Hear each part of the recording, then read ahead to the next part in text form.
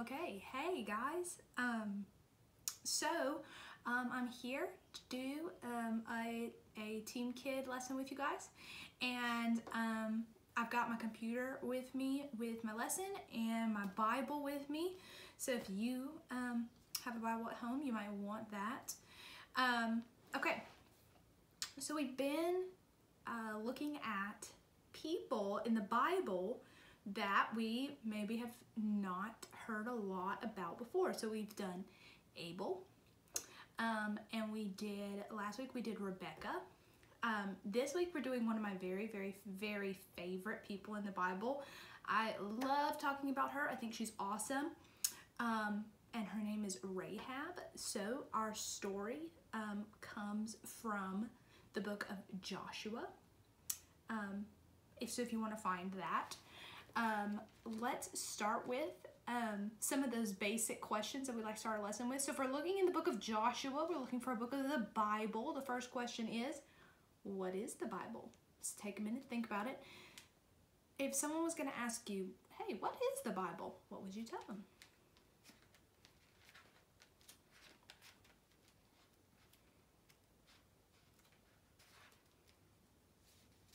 So the Bible is a book written by God for people to understand um, more about God and who He is and what He's done for us. Good. Um, our next question is, well, who is God? So we say God wrote the Bible. Who is God?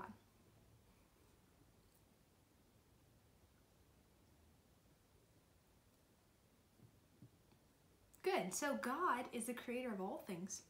He's in charge of everybody. He knows everything. Um, he loves everybody. I'm sure these are some things that you said, and we could probably describe God forever and ever because He um, is eternal, right? Um, and so, uh, good. He wrote the Bible for us to understand more of those things about Him.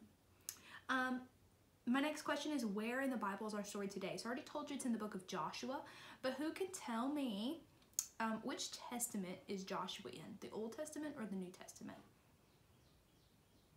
Good, the Old Testament. So Joshua comes at the beginning of my Bible.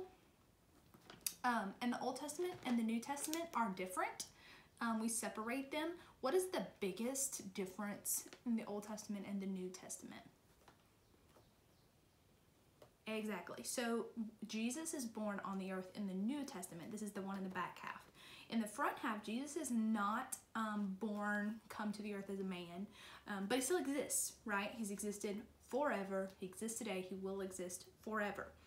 Um, so Jesus is not a, a character in our story. He's not a person in the story, but the story still points us to him, right? The whole Bible's written so that we can understand who God is, who Jesus is, who the Holy Spirit is. We can understand that better. Um, so that leads us to our last question. Our last question is why should we read this Bible story? Why should we, as people, as um, people who believe in God, who He is, why should we read this Bible? What, what good does it do us? Why is it important?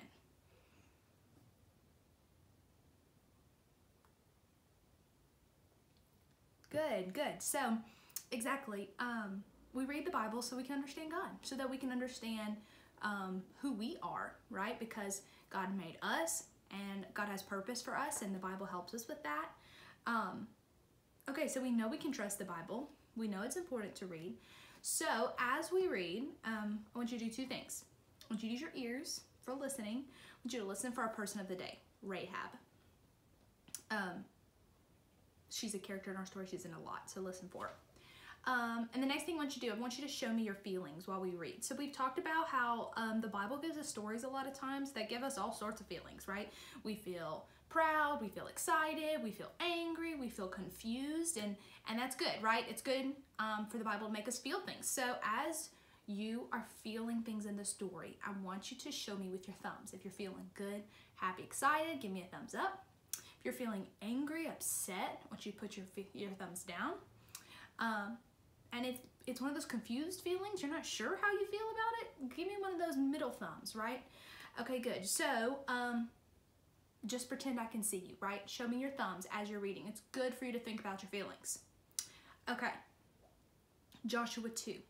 If you're reading along, um, the the story I'm going to read today, it follows along pretty well with um, what the real Bible says, but I'm going to read my version of the story because um, sometimes reading God's word um, uses some vocabulary words and some language that's a little difficult for us. Um, and so hopefully reading the kid version will help us understand um, when we go read the real version. So please, please, please don't take my word for it. Look for it yourself in the real Bible.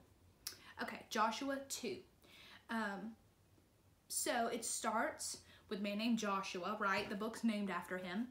Um, and what Joshua is doing is Joshua is leading the people of God, God's people, the Israelites. Joshua is leading the people of God to the land that God had promised them. Now, if we know anything about God's promises, is that He always what? Yeah, He always keeps His promises. So if God promised them this land, God said, "This land belongs to you," um, then we know that they're going to get the land, right? Because God keeps His promises. So let's see what happens. So Joshua is leading the people. He's the leader. He's leading all these people um, to the land that God told them was theirs. So God's people were ready to go into the part of the land um, that's called Jericho. So you might have heard about Jericho before. This is a story we hear a lot of times, but um, keep listening. So Joshua decided to send two men to spy on Jericho before they went in. So he gets two guys to go in, check things out before they all go. When the two spies got into the city, they stayed with a woman named Rahab. Um, so there you go, ear perks up. There's our there's our leading lady, right? We're looking for Rahab. Um, let's learn a bit about her. So Joshua says Rahab's life was very hard and very sad. Um, so Rahab does not have a happy life. She does not have an easy life. Her life is tough, way tougher than yours. Um, her life was very hard, very sad, and her life was full of bad choices. So a lot of times our bad choices um, and our hard lives, they all kind of go together, right? Rahab's got a hard life. She's made some really bad choices. How are we feeling about Rahab? Thumbs up or thumbs down? Okay, maybe kind of confused. Maybe just thumbs down. Maybe you're going, she can't be good, right? She's bad choices, hard life. Um, but um, the spies decided that Rahab's house was the best place to hide, which is interesting. The king of Jericho, right, this is the city that they've gone in and they're hiding, they're spying out. The king of Jericho heard about the spies in the city.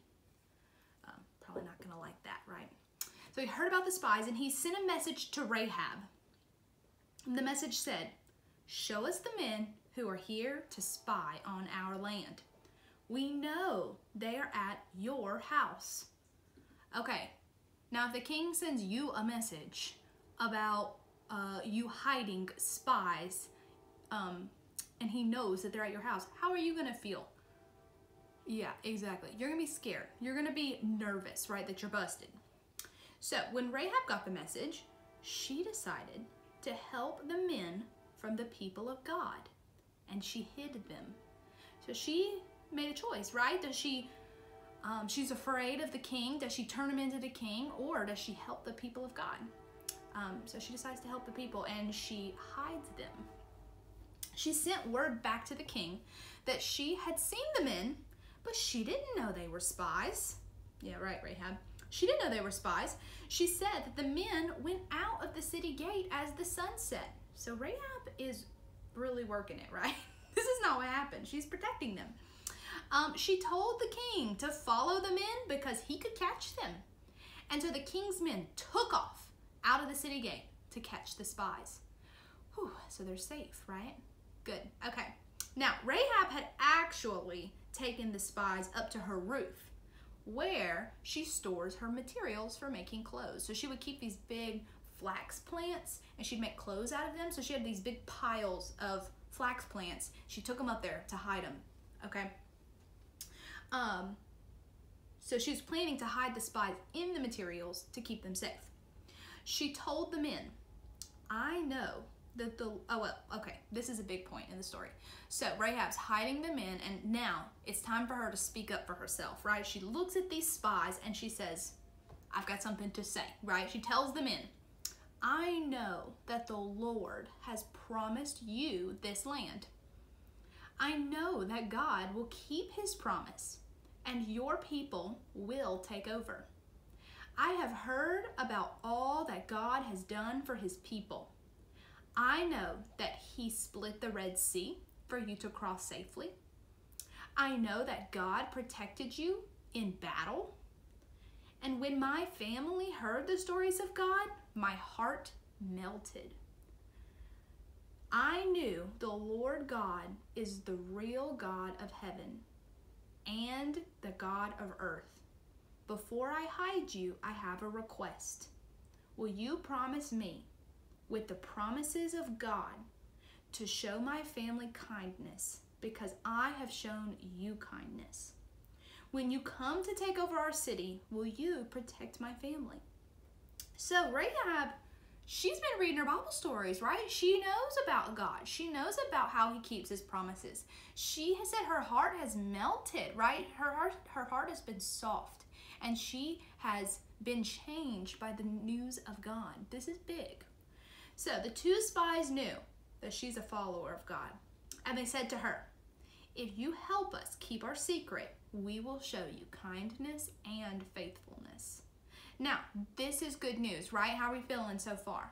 We're feeling good, right? So, Rahab, even though she had all this life of hard choices and she had um, a hard and sad life, she trusted God.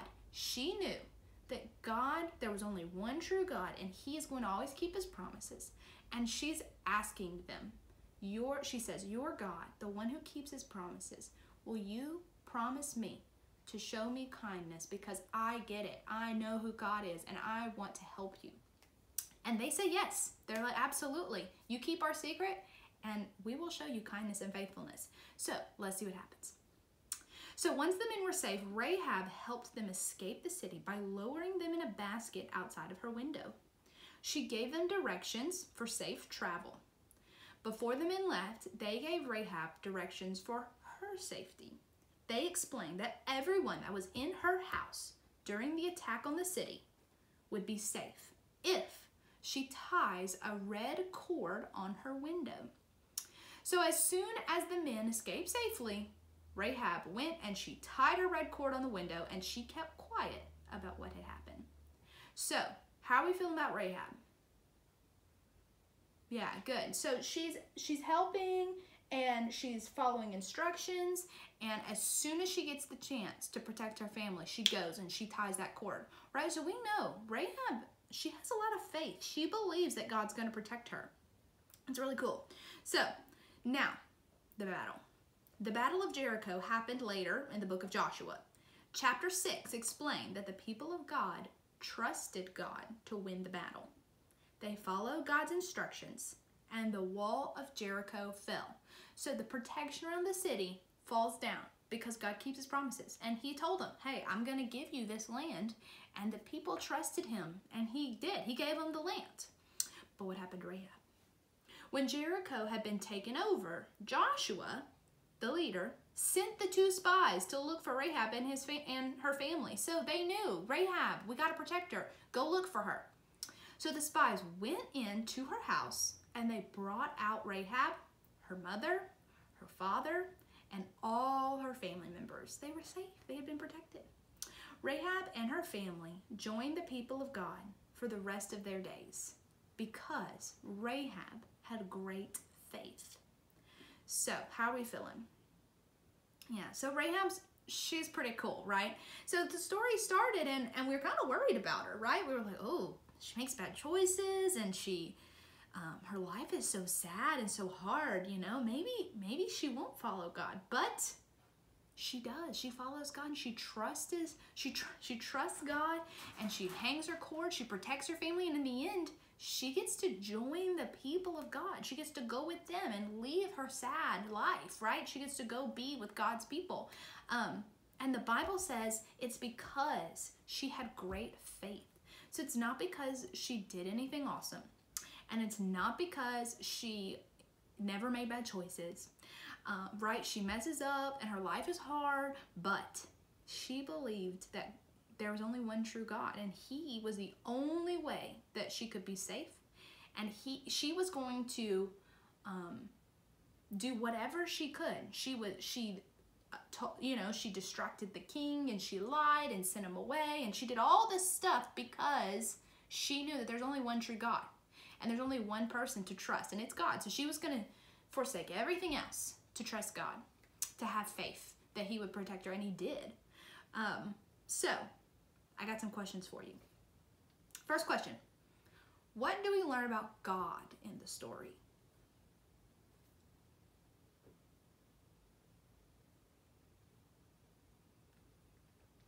Good. So we learn that God keeps his promises, right? We learn this about God all the time.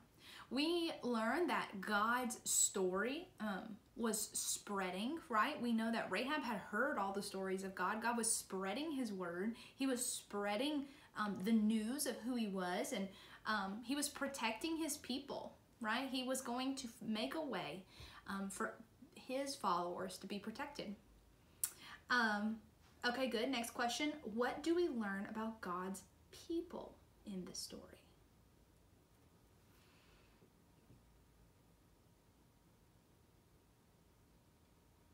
Good. So we learn about God's people and that um, God's people are only considered God's people because of faith and because of their trust and their faith in God, um, and not because they're any sort of special people or not because they have um, big brains or big talent, um, but just because they have faith, like Rahab. Um, good.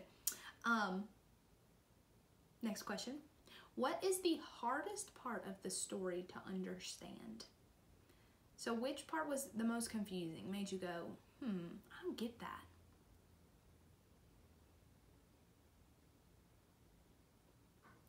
Yeah, so the hardest part of the story for me to understand is that um, for Rahab to trust God, for Rahab to be a follower of God, she had to lie. She had to lie to those people and say, oh, yeah, those spies, they went out in the gate and they're gone. You better go catch them. She lies and she hides the people of God. So the Bible says that she was faithful. Um, and so that's confusing for me. and that's okay. It's okay to be confused. Um, last question. What is one thing that we definitely do understand from the story? What's one thing that we can learn based on our story?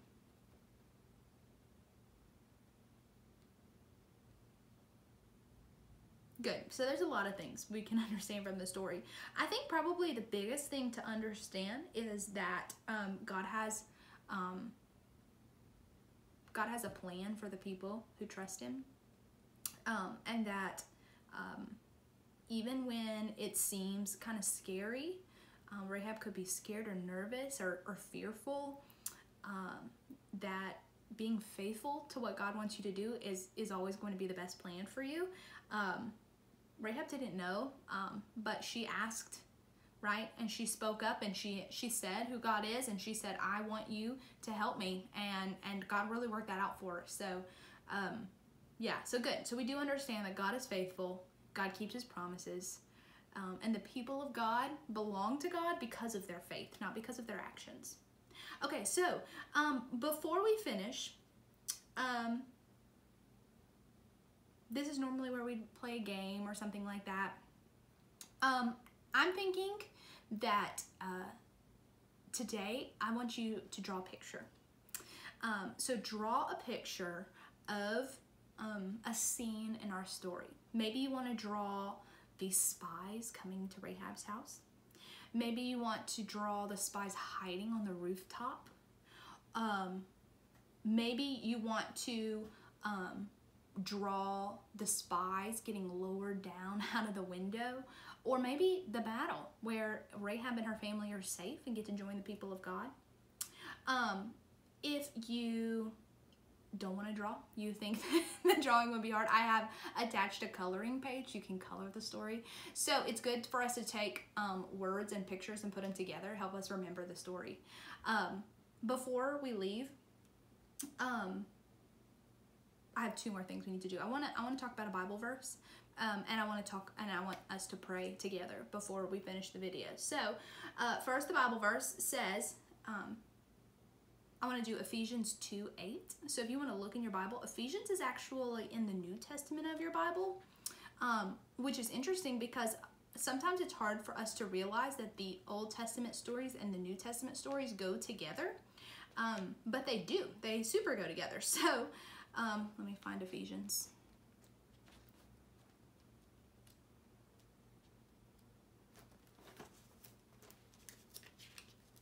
I'm close. There we go. Okay, so yeah, Ephesians 2 8. Um, and listen to what it says. It says, For by grace you have been saved through faith, and that not of yourselves. It is a gift of God. Um, so the Bible is saying that um, God gave you a gift um, and He saved you um, because of faith. So, if you're a follower of God, it is only because you have faith in Him and not because of anything that you did. And that made me really think about Rahab and how she became um, one of the people of God. It's the same way we become a people of God. Um, so, I just challenge you to think about that this week and think about it as you draw your picture, you color. Um, think about the good gift that God gave us. Um, that we only have to have faith in Him. We don't have to be awesome or do anything special. Um, okay, so let's pray about that. Um, bow your head, close your eyes. Dear Lord, thank you so much for um, these Bible stories that help us understand who you are and um, help us understand who we are and what we bring to the table, God. That we don't we don't bring anything special and we don't have to have um, anything. We don't have to have happy lives or, or good choices or anything to be um, one of your people. We only have to trust you. And we have heard stories like Rahab heard stories. Um, and we know that um, you keep your promises, and we know that there's only one true God. I pray that the boys and girls' um, hearts would be melted like Rahab's, and that they would um, be um, they would put their faith in in who you are, and that they would trust you even when it's confusing or scary. God, um, thank you for showing us that you keep your promises. Thank you for showing us that you um, you have a plan for your people. Um, we love you and we praise you. In Jesus' name I pray. Amen. So, boys and girls, if you want to post your picture, I would love to see it. So, if you want to post the picture you drew or the picture you color, um, it would just really brighten my day to see some um, some of your work. Um, uh, if you um, want to post yourself doing the Bible verse too, that would be awesome. Um, but it's always good to share what you're learning about God. So uh, take some time to do that today or this week, um, and I will see you next Wednesday.